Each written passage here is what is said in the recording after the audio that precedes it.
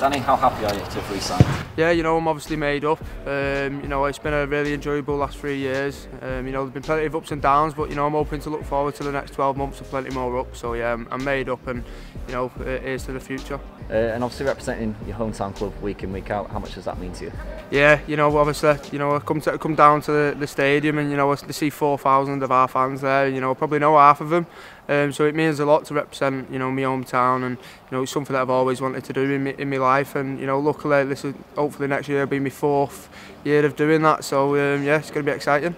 And for yourself, you know, stand-up performance uh, in the last, last time out against Leigh, just hoping to now just keep improving, keep building, growing your game? Yeah, definitely. You know, I just want to keep building game by game and, you know, see where the future takes me. You know, getting as many minutes as possible and, you know, just keep trying to impress every time I get out there and enjoying my rugby, which is the main thing. And obviously on to Wigan now tomorrow night. What are your thoughts ahead of this one? You know, it's going to be a tough game, mate. You know, um, obviously they've not been in the best of form as of recent, but, you know, it's still a local derby and anything can happen in them games and, you know, we're expecting the, the best of the best from Wigan. So you know we're not taking anything light-hearted, and you know we're really looking forward to it.